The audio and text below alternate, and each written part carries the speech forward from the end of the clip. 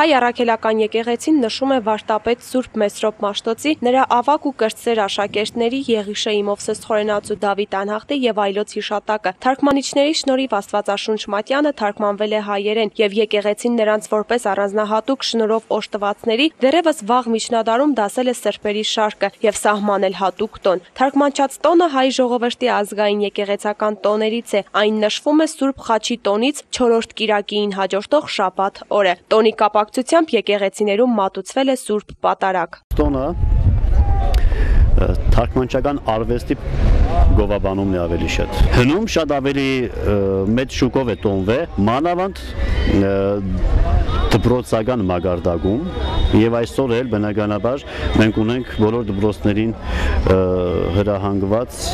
միջոցառումների կազմակերպման ծրագիր, որ թարգմանիչների տոնի վերաբերյալ միջոցառումներ միջոցառումներ են կազմակերպում։ Այսինքն նպատակ կա որ դպրոցներում բարձրացնել թարգմանչական տոնի եւ թարգմանիչների գործի եւ մեր վարտաբետների ճանաչողության մագարտակը